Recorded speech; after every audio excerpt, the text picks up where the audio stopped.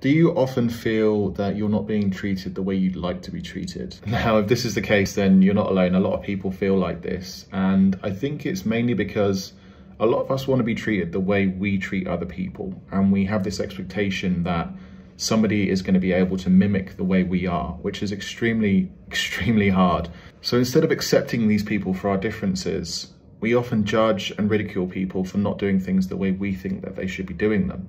Now, we can't control how other people speak to us and how other people treat us, but we can control how we treat ourselves and speak to ourselves, like that inner chatter. So, next time you're having a talk with someone, really pay attention on how you're speaking to them.